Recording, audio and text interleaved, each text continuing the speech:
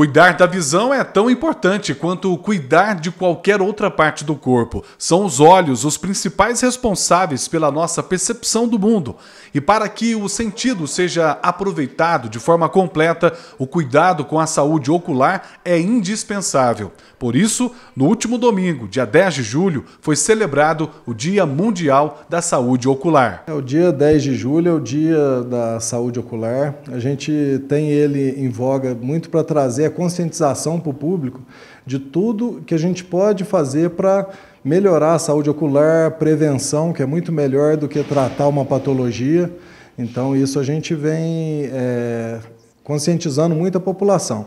O que, que o Donato tem feito, não só nessa data, mas durante todo o ano? A gente tem feito uma live é, mensal para trazer é, educação oftalmológica para as pessoas, para elas se conscientizarem do que, que ela pode estar melhorando na saúde ocular. De acordo com a Organização Mundial da Saúde, cerca de 50 milhões de brasileiros sofrem algum tipo de distúrbio da visão.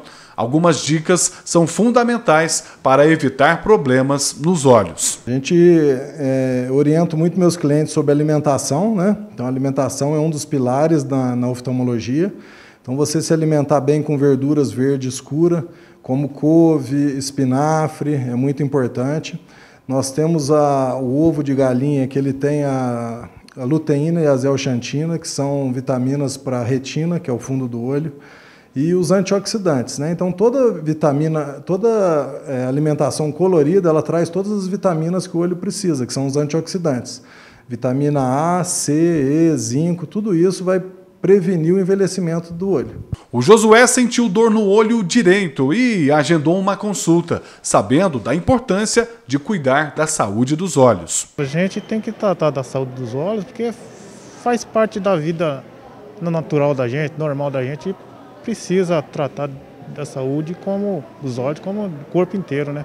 E é isso. Os pacientes precisam ficar atentos aos sintomas. Uma pessoa que não tem problema nenhum visual, uma vez ao ano ela deve ir como consulta preventiva. Né? Mas os sintomas mais importantes é uma baixa de visão, um olho avermelhado, sensação de areia, coceira, o embaçamento visual, tudo isso ela deve estar é, tá indo mais frequentemente ao oftalmologista. E tem um dos sintomas que a gente vê muito importante também, que é o ato de coçar os olhos, né? Então você sentiu muita coceira fazer o ato de esfregar, isso pode levar a várias doenças no olho, nos olhos, como descolamento de retina, como ceratocone, que são doenças que estão muito frequentes no nosso dia a dia. O médico oftalmologista alerta também sobre o uso de óculos, seja de grau como o meu ou de outros tipos, é importante ter muito cuidado para evitar sérios problemas. Quando você coloca um óculos solar, é, isso simula para o seu olho que você está num ambiente escuro. Então a pupila ela abre, que é a menina dos olhos. Com isso tem uma entrada muito grande de raio ultravioleta nos olhos. Se você está usando um óculos solar sem proteção ultravioleta, isso aí vai causar mais danos ao olho.